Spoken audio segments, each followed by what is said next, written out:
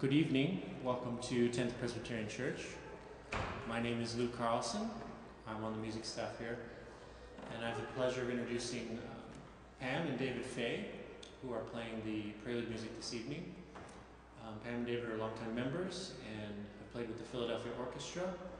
And this evening they're playing um, beautiful duet by Dittersdorf and some hymn arrangements. And they play for the glory of God and your encouragement.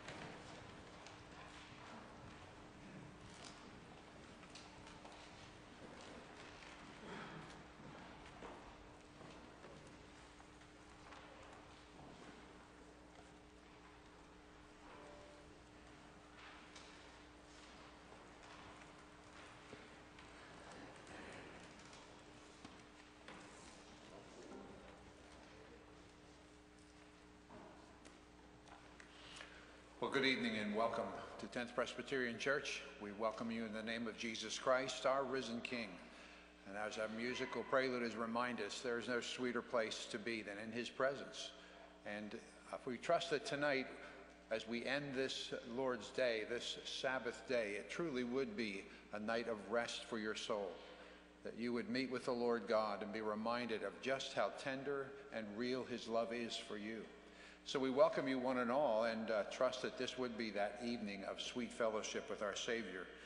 Encourage you to take time to look through your bulletin. Uh, those of you who are visiting, we are a church filled with a lot of activities. Uh, that's because we have an active God who works in us and through us. And so please take time to look through that. I do want to especially highlight the fact that this week is a very exciting week. Uh, Tuesday evening, our monthly uh, Jesus story happens at the local Black Sheep Pub just right up the street, where we host an opportunity an evening for people to come and learn about the life and death and resurrection of Christ and have a, very clear and informal discussion around a meal about that. If you'd like to come and bring a friend with you, that would be a great opportunity this Tuesday evening at 7 p.m. This coming weekend, we're celebrating our Reformation history. Uh, Dr. T. David, David Gordon is going to be joining us for a lecture Saturday evening and a full day on Sunday with Sunday evening as well, highlighting the history of our denomination, our church, of the great movement of the gospel and the Reformation. So please plan to be a part of that. But as I mentioned tonight, we are here to know our Savior and to be reminded of his love, especially as we come to his table. May God bless us with his presence this evening.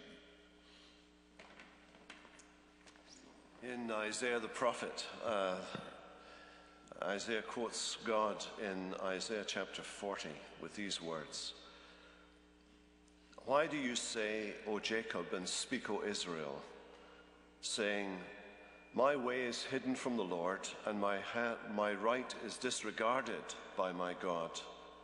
Have you not known? Have you not heard? The Lord is the everlasting God, the creator of the ends of the earth. He does not grow faint or grow weary. His understanding is unsearchable. He gives power to the faint, and to him who has no might, he increases strength. Even youths shall faint and be weary, and young men shall fall exhausted. But those who wait for the Lord shall renew their strength. They shall mount up with wings like eagles. They shall run and not be weary. They shall walk and not faint. Let's pray. Our Father God, we come before you this evening to adore your majesty, to adore the great attributes about which we have just been reading, to remind ourselves that in you we have all that we need to live a life of godliness here in this world. We thank you that you stoop to our weakness, mighty as you are. And we come tonight with all our varied experiences, all our varied questions all our varied anxieties and cares, we come to you. And we pray that you would first of all make yourself known to us, disclose yourself, we pray, by your word. And then unloose our hearts, Lord, as we speak and sing back to you the, the love we have and the appreciation and adoration that we have of you, our great God.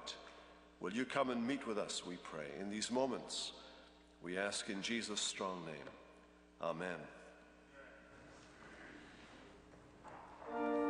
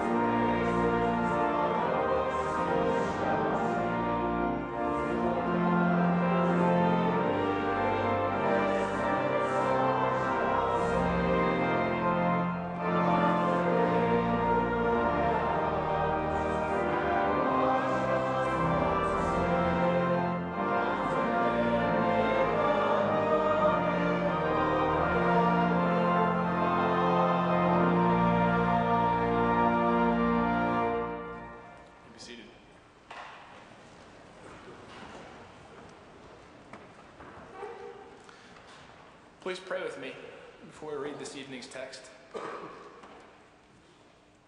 Father, please prepare our hearts to receive your word. Please quiet our hearts and minds as to be able to hear the promptings of the Holy Spirit. Please make Dr. Goligher your mouthpiece this evening. May you preach, um, may your word be preached effective, effective to teach, reprove, correct, and train for righteousness. May we see and know the incarnate word we read about tonight. In Jesus' name we pray. Amen. Please turn with me in the Black Pew Bibles in front of you to John chapter 6. We're reading verses 60 through 71. It can be found on page 892 of the Black Pew Bibles. Uh, John chapter 6, page 892. Verses 60 through 71. When many of his disciples heard it, they said, This is a hard saying. Who can listen to it? But Jesus, knowing in himself that his disciples were grumbling about this, said to them, Do you take offense at this? Then what if you were to see the Son of Man ascending to where he was before? It is the Spirit who gives life. The flesh is no help at all. The words that I have spoken to you are spirit and life. But there are some of you who do not believe. For Jesus knew from, from the beginning who those were who did not believe, and who it was who would betray him. And he said, This is why I told you that no one can come to me unless it is granted him by the Father. After this, many of his, of his disciples turned back and no longer walked with him. So Jesus said to the twelve, Do you want to go away as well? Simon Peter answered him, Lord, to whom shall we go? You have the words of eternal life, and we have believed, and have come to know that you are the Holy One of God. Jesus answered them, Did I not choose you, the twelve? And yet one of you is a devil. And he spoke of Judas, the son of Simon Iscariot, for he was one of the twelve, was going to betray him.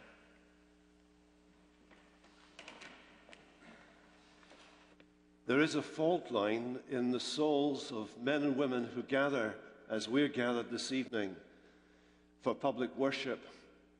Perhaps who've been claiming to be, uh, making the assertion of being a follower of Jesus, a believer in Jesus, interested as they are in his teaching and in his life, committed as they are to certain aspects of the Christian faith, there nonetheless has developed somewhere within the core of their being, a fault line, a crack, a subterranean, almost imperceptible crack in their commitment to Him.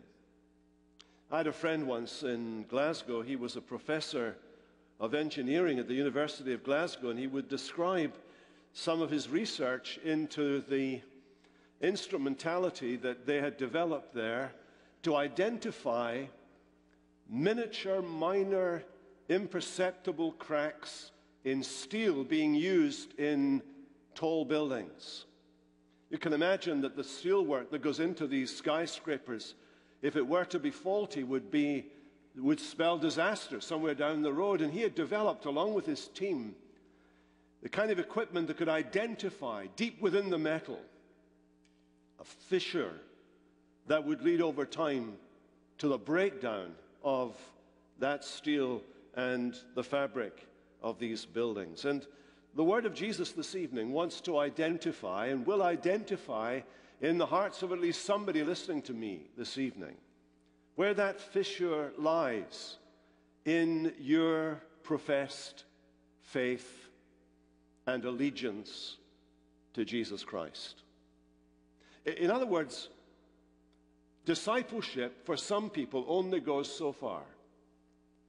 All their profession of following Jesus, their profession of accepting his authority in their lives is all right so far as Jesus does not say anything that intrudes into their private life or raises questions about their rational or reasonable conclusions or appears unacceptable to their sensibilities. We find that lying right at the very heart of Jesus' ministry, and we find it here. And the issue, the thing that always exposes these fissures in our life, are the words of Jesus himself. So, for example, in this passage we have just read, we are introduced to some provocative words that Jesus had spoken. Uh, you can see that in the very first verse we read, verse 60. Many of his disciples, when they heard this, when they heard this, they said, This is a hard saying. Who can listen to it?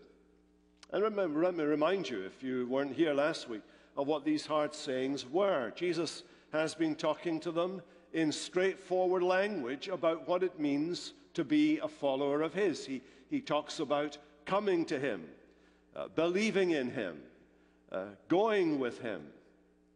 And then He's used figurative language to illustrate just what, how close and vital this relationship of coming to Him and believing in Him and following Him and going with Him involves. He's used the figure of eating something in order to teach them that in, for their salvation, the Son of Man would have to have his flesh, his body given for them.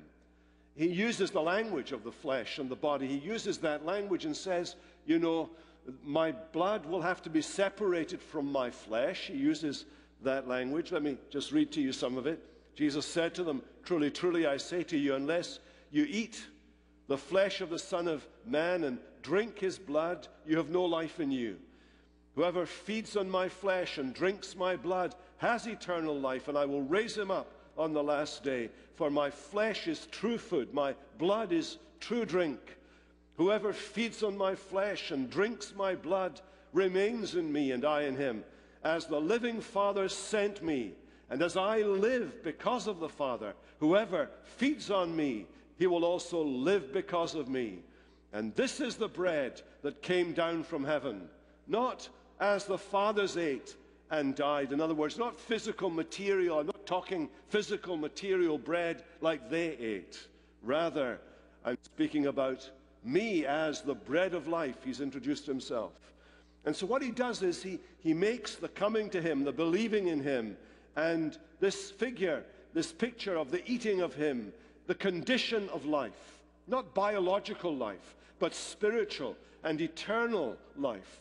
And the whole flow of the passage explains that when he talks about eating, he's talking about coming and believing and taking and following.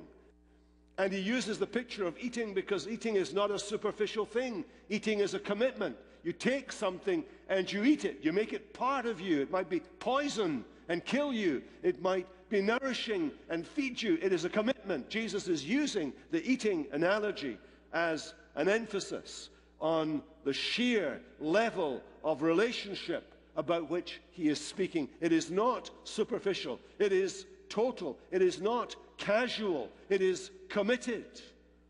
And he's saying to people that coming to him, believing in him, feasting on him, so that he becomes part of us and we become part of him, is exactly the kind of union and unity of life about which he is speaking. And they said, This is a hard saying. Who can listen to it?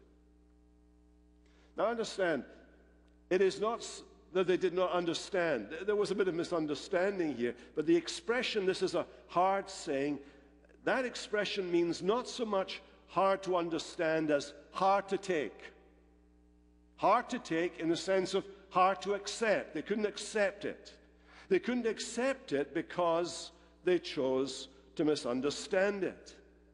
And so fundamental was this misunderstanding or this refusal to understand what Jesus had said, so fundamental was it that it led to a turning point in the lives of many, many of Jesus' followers. This was not simply one or two people who were going to abandon him. This was a massive walkout. This is a massive turning away from Jesus of many of his disciples. You can see that in verse 60. Many of his disciples heard this and said, This is a hard saying. They could not take the idea of what Jesus was saying, and they, they exposed by their behavior this vital principle right at the very beginning the difference between true discipleship and false discipleship. The true disciple comes up against something he does not understand, something he cannot get his head around that Jesus has said, something he finds unacceptable that Jesus has said. But the true disciple perseveres. The true disciple listens and listens on to learn what Jesus means. The false disciple, when they come across something they do not understand or find unacceptable, turns away from Jesus entirely and goes their own way. Now you can see this. This is the principle that's developed in this passage. As Jesus now speaks these probing words to them, Jesus. Look, verse 61. Knowing in himself that his disciples were grumbling about this. In John's Gospel, whenever you read about Jesus knowing things that are going on in people's minds and hearts, it's meant to underline the fact that Jesus is God in the flesh. And as God in the flesh, he knows what's going on in the hearts of his people. He knew that they were grumbling. Just as the children of Israel had murmured and grumbled under Moses, so these people were grumbling and mumbling over Jesus. Knowing that they were grumbling about this, he said to them, Do you take offense at this? I think, in particular, what he's uh, saying here, or what they were grumbling about, was the idea that had actually hit them that they didn't like. And the idea was that Jesus had been talking about death. If you talk about blood and flesh, you're talking about sacrifice in, in the Old Testament, the blood and the flesh were never mixed together, they were separated. The animal was drained of blood as it was sacrificed. That was a vital separation that took place. That's why when later Jesus inaugurates the Lord's Supper, he separates the two elements, the bread and the wine. He separates those so that we clearly understand that a sacrifice has taken place, violent death has occurred, a draining away, a separation of the blood and the flesh to indicate that an offering has been made to God on our behalf. They were offended. It was a scandal to them. That's the word, offense. It scandalized them. And they take offense. R.C. Sproul distinguishes between an offense given and an offense taken. Sometimes people take offense when no offense offense was intended. Some people are prone to take offense at the slightest things. And as Christians, we are not to give offense or to be unnecessarily offensive, and we're not to take offense either. But these people, these people had listened to Jesus. He had not intended to be offensive, but they had taken offense at his words, and he noticed this. So what does he do? Does he apologize? Does he say to them, Well, I'm really sorry that, that you picked me up wrong? I, am really sorry that, that I said this thing about you know, the separation of the blood and the flesh and, and suggested that I might have to die uh, or that my death might be a sacrifice and, and that's offended you. I'm really, really sorry I offended you. I shouldn't have said anything about that. That's a part of my religion that, that obviously you don't like and therefore uh, I should really not mention it. It's a bit like what we do today. We, we decide that there are some things that are going to annoy people in our culture, and we don't mention them because we don't want to be offensive. Jesus doesn't apologize. He had nothing to apologize for because what he had said was the truth. He was giving his flesh for the life of the world. His flesh was given in death. It was an offense, however, to the Jews. It, it was a, a, cause of stumbling. That's what the word means. It was an occasion for them to fall away. Whenever this word is used in the New Testament, it, it refers to people falling away. They, they turn away from him. People who were close to him, following him. Obviously not born again, but, but looking like they are born again. They fall away. They turn their backs. They, they, they go away from him. And so Jesus confronts that. He probes their hearts. Do you take offense at this? Are my words causing you to consider abandoning me, leaving me? You might want to ask yourself a question this evening. What might it take for Jesus to say to you that would cause you to turn away from him? Jesus heightens the stakes here. Suppose he said, What if you were to see the Son of Man ascending to where he was before? What he's saying to these apostate followers of his, these are the serious consequences of your actions. He's getting them to think about what's wrong with, about him. If they walk away from him because of the prospect of his death, they're walking away from something even more profound. He's talking here about his ascension into glory. He's talking about the time when, in the future, when he will be carried up to the glory of God, in to the throne of God, to assume the place of all power. He's talking about the future glory of the Son of Man, who will return to the glory he shared with the Father before eternity. He's saying to these people, if you're unwilling to accept the shame of siding with me because you find this talk of death scandalous. You will miss out on that joyful, thrilling day when in victory I resume my place in the Father's glory. Will you not take the shame of walking with Jesus here? For the sake of the glory that you will share with Jesus when he comes in to his kingdom. Now, the reality is, of course, that perhaps what offended the Jews then is not what offends us this evening.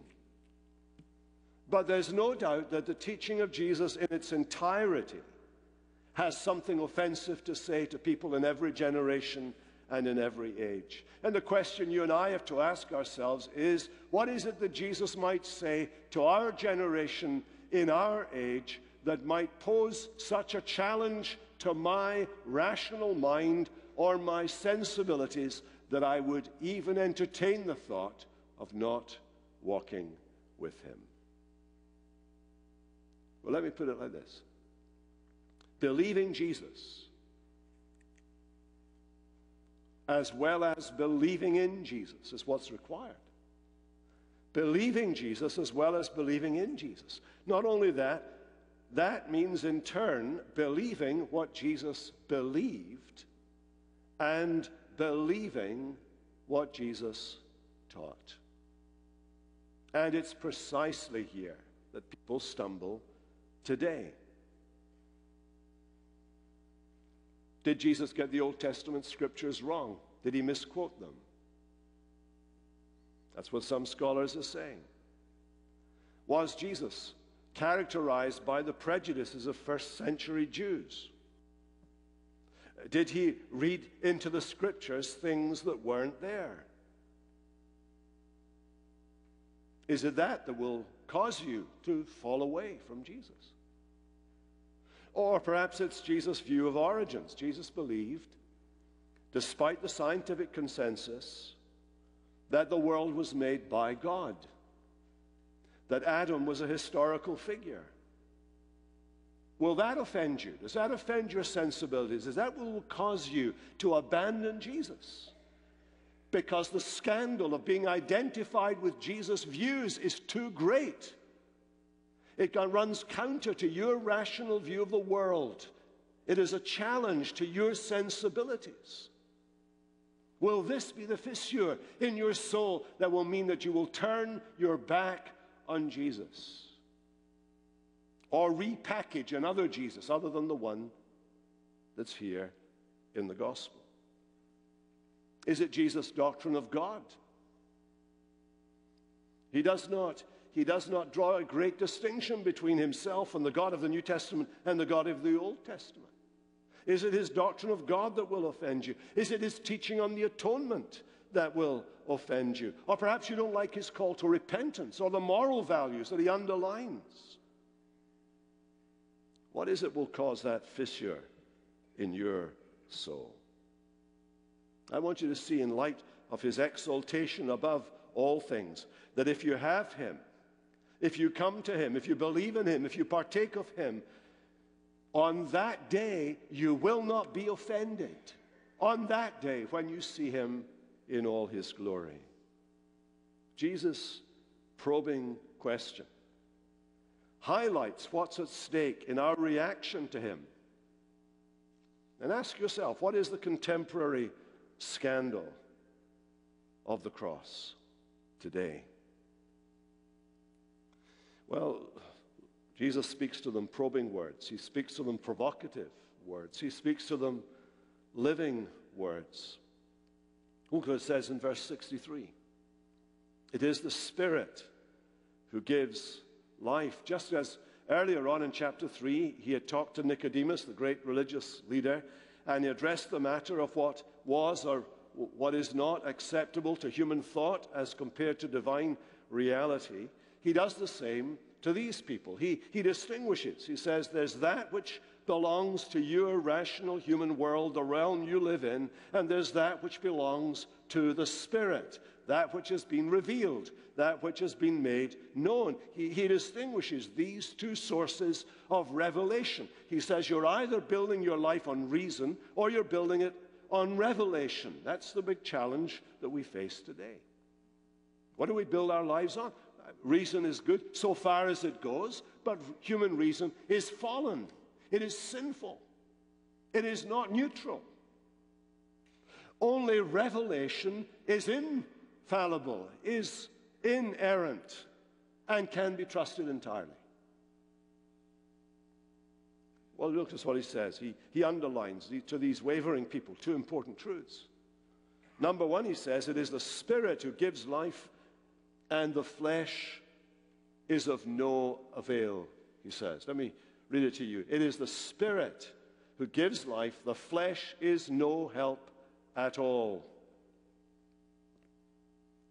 He's talking there about sinful flesh, human nature, human nature in its natural state, human nature in its natural fallen state. Human nature by itself cannot produce spiritual life. In our fallen state, we cannot and will not go in for the things of God. We just don't do it. Naturally, we don't do this. Naturally, we, an unrenewed mind cannot comprehend divine realities. It doesn't matter how brilliant you are. You can read uh, Richard Dawkins.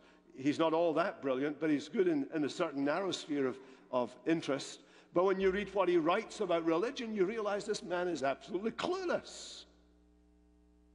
He has never grasped it. His mind, however brilliant he may be in some specific scientific area, when it comes to the things of God, the man doesn't have a clue. He can't even represent what he's against with any clarity. He doesn't know what he's against. Because the natural man doesn't understand the things of the Spirit of God. They're foolishness to him, they're absolute folly to him. The unrenewed mind cannot comprehend divine realities. It will instinctively reject them. It is not suited to grasp them. The flesh cannot understand, cannot begin to turn towards God. It is powerless. It cannot hear the word. It takes offense in it. It misunderstands it. It misrepresents it. It disbelieves it. That was really what was wrong with these people. They did not believe. They followed, but they did not believe. They went after him, but they did not believe. There was a failure of faith. Even the best of human religion. The best of human religion is inadequate when it comes to knowing God. There's that great statement, and it comes from this verse. He uses this verse. It gripped the mind of Martin Luther when he was writing to Erasmus of Rotterdam at the time of the Reformation, and Erasmus held on to this idea that there was a little island of righteousness within humanity by which it was possible, with the help of the Spirit of God, to come to God. So the Spirit helped, and your own little island of righteousness connected with the Spirit, and it brought you to God. And Luther wrote to Erasmus, and he quoted this verse. Quoted it in, in another translation, in literally, literal translation. The verse that says here, the Spirit or the flesh rather is no help at all. Basically, it says the flesh is nothing. The flesh profits nothing. Eras- uh, Luther quotes this to Erasmus and he says, The flesh profits nothing, and that nothing is not a little something. That nothing is nothing. The flesh profits nothing when it comes to moving towards God or understanding or comprehending God. The flesh profits nothing. And that nothing is absolute. It profits nothing at all. Nothing at all. We cannot get into heaven in our own strength. We can't enter the kingdom of God apart from supernatural work of God. It is the Spirit, you notice, as the author of God's renewing, redeeming work who makes us alive, who illumines our understanding, who subdues our foolish will, who makes us willing in the day of his power. Then you ask the question then, how does the Spirit do this? What is the means by which the Spirit illumines minds and enlightens spirits and minds? Jesus tells us in the second principle here the words that I have spoken to you are spirit and life. In other words, the Spirit brings to life and brings understanding, and He does it through the very words of Scripture, the very words of Jesus, the words that Jesus authorizes, the apostles and the Old Testament. He uses that word and those words as the very instrument to give life to those who are dead, to give light to those who are in darkness, to give sight to those who are spiritually blind. He uses by his word and the Spirit, he uses the word to bring new birth. You were born again, you were brought to life, says James, by the word of truth that was spoken to you. He gives life from the dead. That's how the Spirit makes us alive in Christ. That's how he makes sense to us in Christ. The Spirit and life are found through the words of Christ. Jesus speaks living words. And Jesus speaks saving words. Look at verse 64. There are some of you who do not believe. There's the core issue, you see. I said that really lying at the heart of their inability to comprehend and their misunderstanding was their disbelief. That was the issue. Their disbelief. Now, you would think that Jesus had persuasive powers. This was a human being that he had persuasive powers. Or you would think that the very things that Jesus did, all these miracles, the feeding of the 5,000 and so on, if these miracles that were done in Palestine then were done in Philadelphia or Toronto or London or Beirut today, you'd think that people would go in droves after Jesus. You would think so. You might think that people would be bound to believe, but nothing would be further from the truth. Jesus knows what's going on in these people's hearts. There are some of you who do not believe. How does he know this? Well, it tells you in brackets, for Jesus knew from the beginning those who were those who those were who did not believe and who it was who would betray him. He knew who wouldn't believe. He knew the person who would betray him. He knew that. He had that supernatural sight. He, he absolutely knew where these people stood. He knew that was the state of affairs among his followers. Unbelief was kicking in among his followers. I read a book this week And the, the author of this book purports to be a Christian, but he takes views of Scripture, frankly, that Jesus would not recognize. He's offended by the stories in the Old Testament. They didn't happen, he says. They were simply part of normal propaganda. He's offended by New Testament quotations of the Old Testament.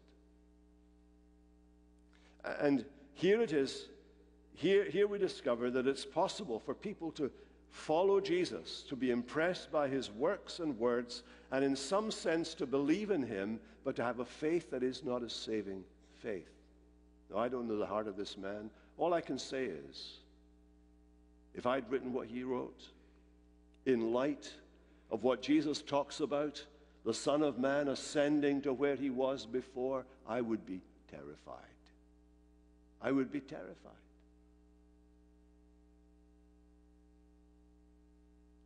I quake for him. He has so far gone from the things of God. And you see, these people, at the heart of it was unbelief. Unbelief.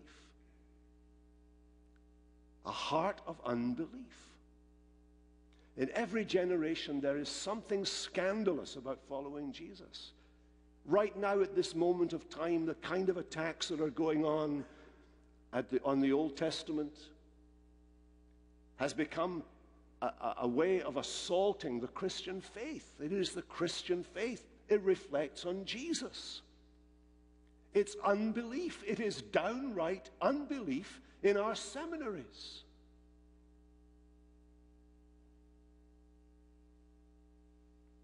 And you notice what Jesus goes on to say I told you that no one can come to me unless the Father, it has been granted to him by the Father. True saving faith, which is here described as coming to me, is not possible in the flesh, but is a gift of God to those who are born of God, to those who are born from above, who are taught of God. The doctrine of predestination is behind everything, you see. It won't, just won't go away. You maybe wanted to go away, but it won't go away. It keeps on coming back. And he's making it, you notice, he's making it clear that without the intervention of God, some of those who followed him would be lost utterly. That isn't to say it was imposed on them, it was their own choice.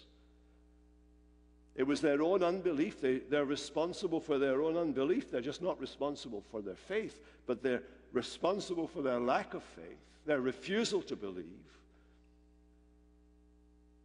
They were like little children. We've got two little boys staying with us, and one of them is old enough to feed himself. And you can see him sometimes, and he's playing with the food on his plate. He rearranges the food. He's supposed to be eating the food, but what he's doing is he's kind of pushing away the bits he doesn't want, and he plays with his food instead of eating his food.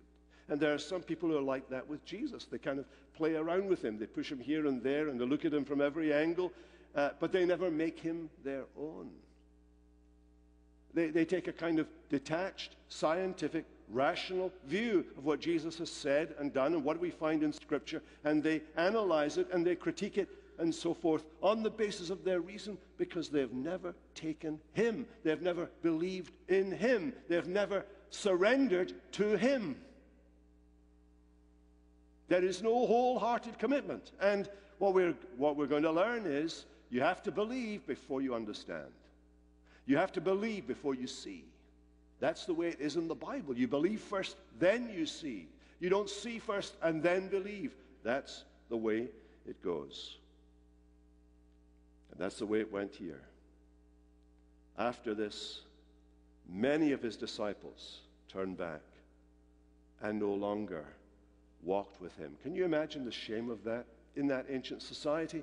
A teacher, a teacher's status was derived from his success and from the loyalty of his followers. So losing followers was dishonorable, it was not a good thing. But many followed him no longer. Can you imagine that? Can you imagine a mass exodus from our church because people did not, did not believe? I mean, we, we, we've been upset recently when some people have, have gone to other churches, but we're really grateful they went to other churches. That's, that's fine. They're still following the Lord Jesus. That's okay. But imagine people leaving the church altogether, defecting from Christ, and in their defection, denying things that they once claimed to believe, denying them outright. It's part of Christian history, it's part of our Christian experience that people can get pretty close to Jesus and then stumble over his teaching when it runs counter to their reason or their presuppositions or their lifestyle choices. And I want to ask you today for your soul's eternal well being Do you have a controversy with Jesus about something? Only you know. Do you have a controversy with Jesus about something? Is there an issue in your experience or your life? Is there an intellectual question that you have and you have a controversy with Jesus? I want you to resolve it. Let the Word of God resolve it. Let faith in Jesus resolve it. Or it may very well be the very means by which you are exposed to be an apostate. You know, this was, a, this was a burning issue at the time John is writing his gospel. We know that from his letters, that this was going on in the churches. There were mass deviations, defections from, from the church. John writes about this in 1 John chapter 2 and verse uh, 15 and following, when he says, you know, don't love the world or the things of the world. If you love the world, the love of the Father isn't in you, for all that is in the world, the desires of the flesh and the eyes and the pride and possessions and so on, don't come from God, but from the world. Children, this is the last hour, and you've heard that the Antichrist is coming. And many Antichrists have come, therefore, we know it's the last hour. And he goes on to say this they have gone out from us. They were not of us. For if they had been of us, they would have continued with us, but they went out and it became plain that they are not of us. But you have an anointing of the Holy One, and you have, you all have knowledge. You see what John is saying? John is saying there that we don't know who apostate people are until they leave. And then when they leave, we see them moving in a direction in a massively unbelieving direction. And we realize that all the time we thought they were part of us. They weren't really.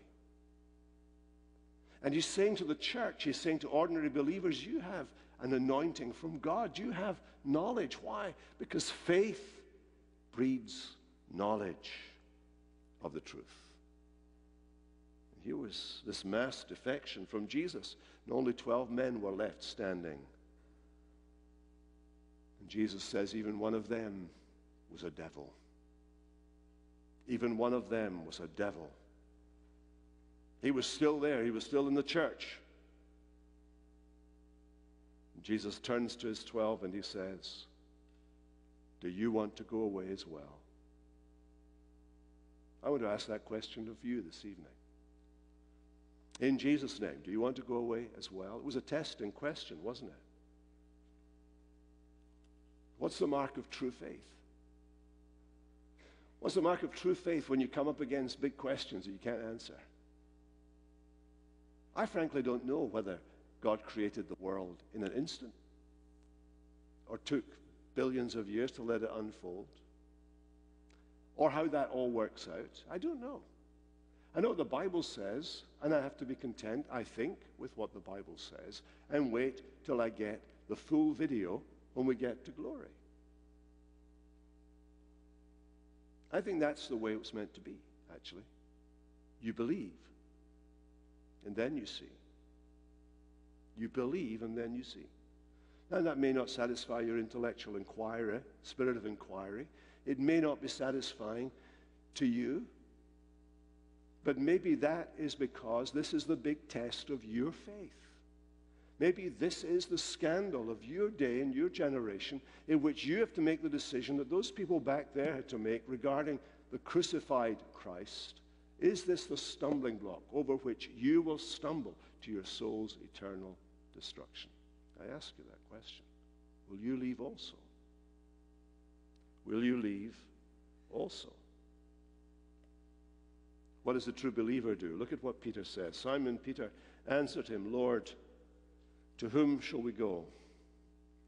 You have the words of eternal life. You see, what Peter was not saying was this. He was not saying, Lord, we understand it, we get it. we know perfectly well they didn't get it. They still weren't getting it at the end before Jesus went to the cross. They were still, you know, talking past each other. That wasn't what he was saying. He wasn't saying, I get it all. I'm all sewed up. You know, I've got all the answers. No, that's not what Peter is saying. He's saying to Jesus, You have the answers. We're going to hang out with you because we know you have the answers. You alone have the answers. You have the words of eternal life. We're not going back. There's the feature of saving faith. Saving faith is persevering faith. Saving faith doesn't defect. Saving faith hangs out with Jesus to the bitter end. Why? Because saving faith is faith. It's faith, it's belief, it's trusting. Peter trusted in Jesus. The 12 have nowhere else to go. Why? Because they've crossed a line, a line of faith. And that step was irrevocable and irreversible. And when life is at stake, there is no other way to go than that of following Jesus. We have believed. Listen to Peter. We have believed and have come to know that you are the Holy One of God. Do you see the order? We have believed and have come to know that you are the Holy One of God. The believer doesn't talk about himself, but of him on whom he believes.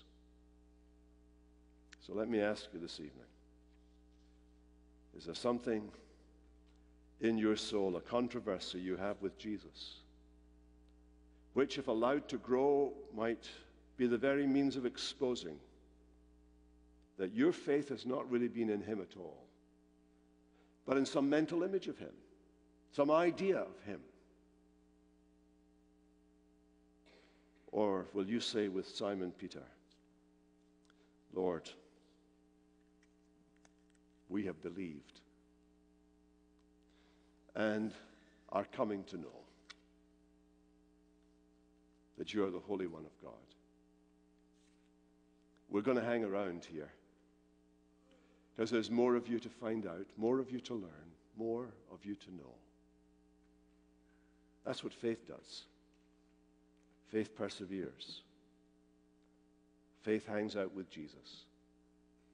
And faith has its eyes opened to see. Father, as we come now to handle sensible objects, bread and wine, things that appeal to the senses that we can see and touch and taste, we pray that your word would help us to embrace in our hearts Christ for ourselves. We pray this in his strong name. Amen.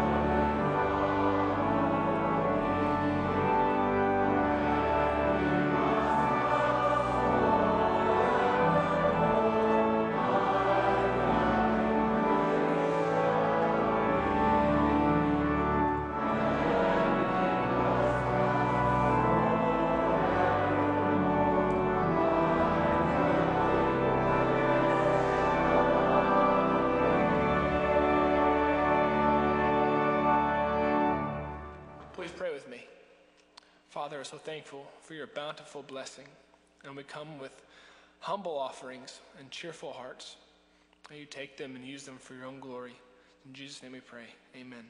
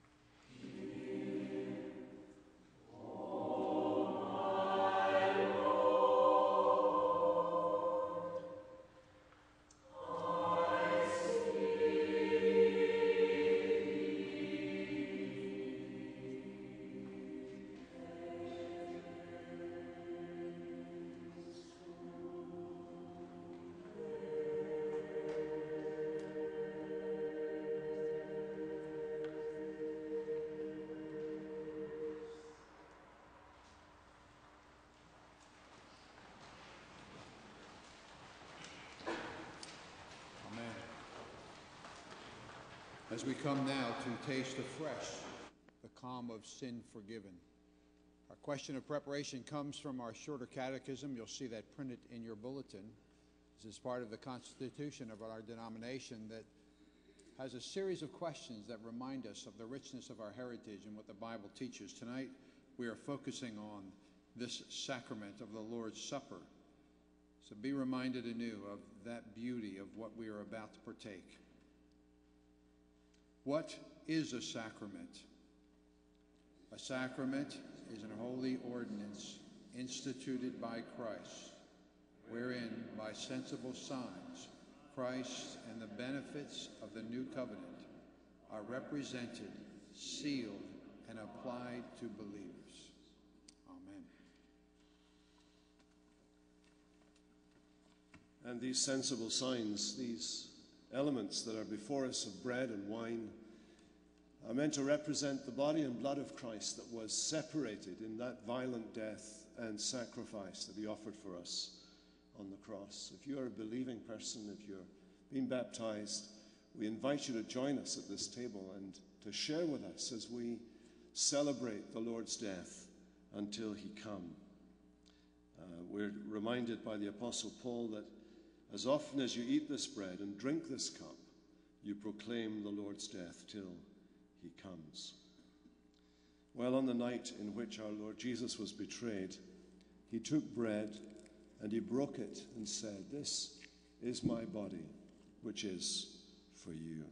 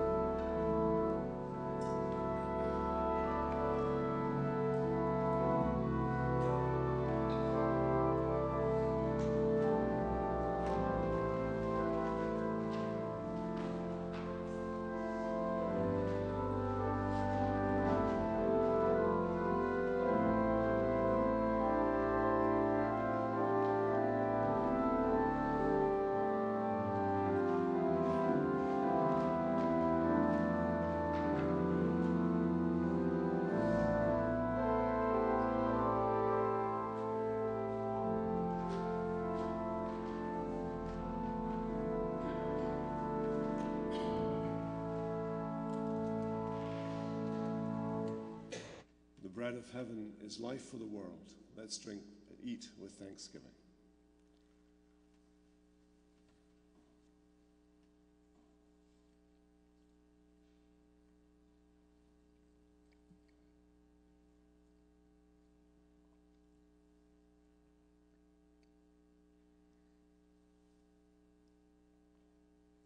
After supper, Jesus took the cup and said, This cup is the new covenant in my blood, shed for many for the forgiveness of sins.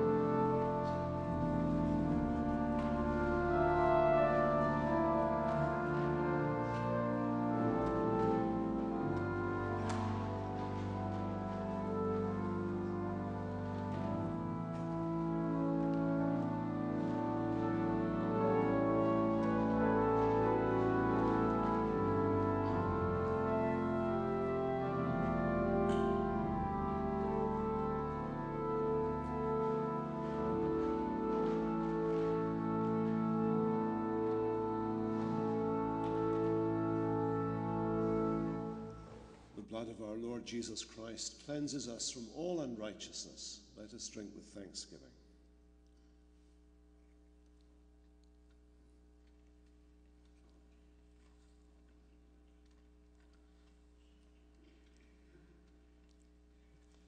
And let's proclaim the mystery of our faith. Christ has died, Christ is risen, Christ shall come again. Thanks be to God.